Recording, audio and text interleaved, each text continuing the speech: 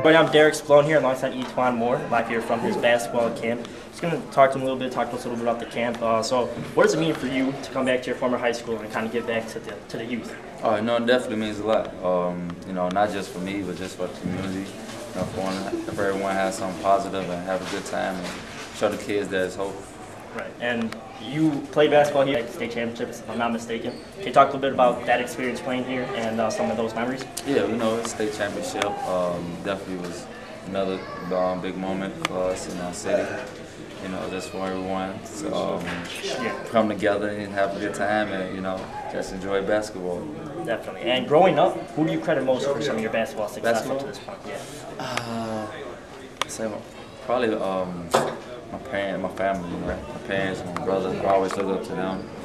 Um, my brother and his friends, they were very good. Uh, good high school team, '97, East Chicago Central. So that influenced me a lot. Right, and you went to Purdue. Obviously, you committed to Purdue. You had your own kind of big three there: Robbie Hummel, JaJuan Johnson. Can you talk a little bit about playing with those guys and how Purdue got you ready for the next level? Right. Oh yeah, you know, uh, playing with them definitely uh, getting me ready. I mean, both of those guys are professional players, so um, playing with them when I went to the next level was uh, made it a little bit easier because I'm, I'm playing with pros already. Right, exactly. And can you, and obviously, you were um, drafted the same year as your teammate JaJuan Yeah. Johnson, both to the Boston Celtics. Can you talk about that? And also, did you kind of play with a chip on your shoulder? You know, drafted late in the second round, kind of make you more motivated, kind of hungry to prove everybody wrong? Oh yeah, definitely. It's definitely motivating. You know, being drafted late in the second round. I wish I was drafted earlier. So, you know, when I go play against teams, like, uh, I got to show them that I belong there. Definitely. And the Orlando Magic just recently drafted Victor Oladipo.